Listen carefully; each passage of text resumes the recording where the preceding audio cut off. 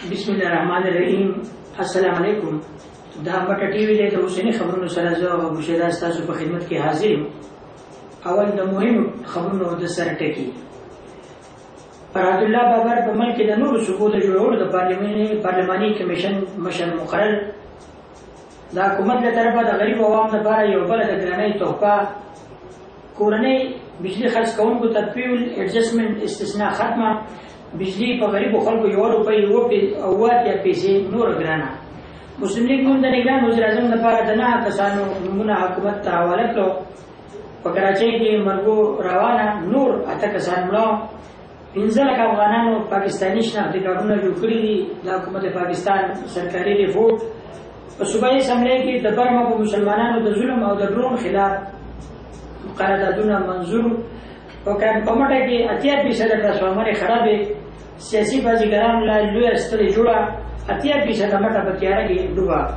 د مټې بازار یو لوی برخه وه بادي هم د بجلۍ نه محرومه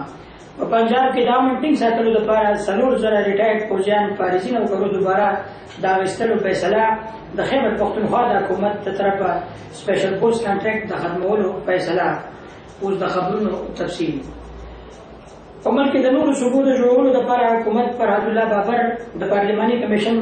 مشر مقرر کړی دی چې کمیشن به د نورو صوبو د جوړولو لپاره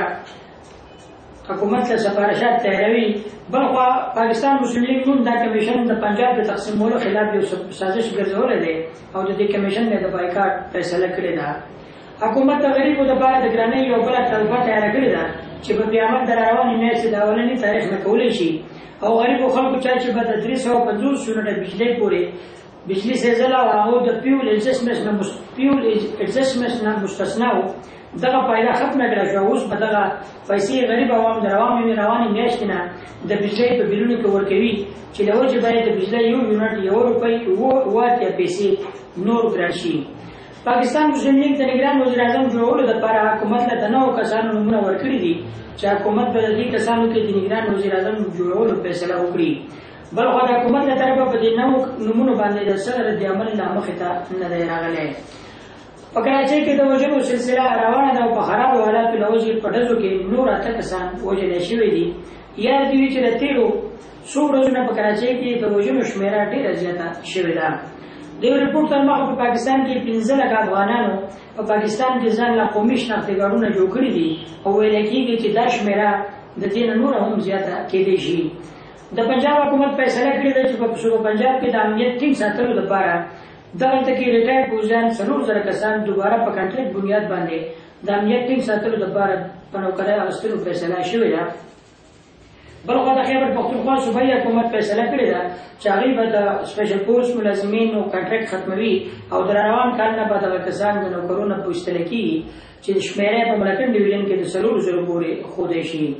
د خیبر پښتونخوا صوبایي اسمبلۍ دوه جدا جدا متفقه منظور شوي قراردادونه منظور کړي دي چې په یو کې د برما کې په مسلمانانو د ظلم او بل کې د امریکې د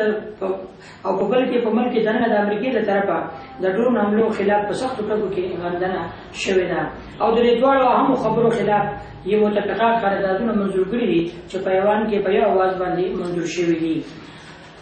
په منډه کې په اته پیس اتیا فیصد علاقو کې د بجلۍ ټرانسفارمرې خرابې شوې دي او د راغلي رپورټونو مطابق دا وخت د مټې تحصیل په زیاتره علاقه یعنې په اتیا فیصد علاقه کې بجلي نشته او خلک په تیارو کې به ژوند تېرولو باندې مجبور دي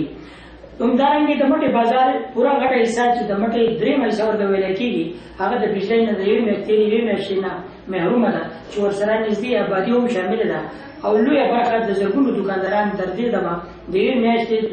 د یوې میاشتې نه تر دې دمه پورې په جنریټرو باندې خپل کاروبار کوي او دغه لوی بازار ته ورسره بادي د بجلۍ نه هم محرومه ده بلخوا هو د غوښتل دي سیاسي دکاندارانو لپاره د بجلۍ ورانه ټرانسفارمر یوه لویه ستړې جوړه شوې ده او اول حکومت له وروسته نورو سیاسي جماعتونو لپاره ورانه ټرانسفارمر لوی دردسر دی او ځان ځانله د همدردو حاصلولو په ځای سیاسي خلک اوس د خلکو نه ډډه کوي چې چېرته را ټرانسفارمر خبره خو نه کوي تېره ورځ د مټې ګورلې کلي سره نږدې یو موټر واورېدو واورېدو چې پکې ناست دوه کسان چې یو پکې پټک باندې مړ شو مړ شوی کس ګل رحیم ولد روزي ګل سکنا خریړی چم په مخه باندې مړ شو او بل ملګری حنیف ولد جانزیب سکنا خریړی چم سخت جوړ شو ممتاز سیاسي او سماجي شخصیت شهزاده خان چوپیان تېره شپه په حق ورسېدو مرحوم په خپل قبر کلي کې خاورې ته وسپارل شو د دوی په نامه جنازې په منځ کې د علاقې سیاسي خلکو مشرانو عامو خلکو او وکیلانو په ډېر ګڼ تعداد باندې ګډون وکړو یا دې وي چې خدای بخښلی شهزاده خان چوپریال د ممتاز خاندان او شاعر محمد اسحاق خان ایډوکیټ د لیبر پارټۍ پاکستان صوبایي کلچر ایجوکیشن سیکرټري او د آل پرایمري ټیچر اسوسییشن مټې صدر محمد شاه خان پلار او د پخوانی ناظم یونین کونسل چوپریال او د تحریک انصاف مټې رهنما شریف الله خان او د پاکستان مسلم لیگ نون پخوانی امیدوار حلقه این تیس سواد دو او حلقه پی کې چوراسی محمد ریاض خان ترو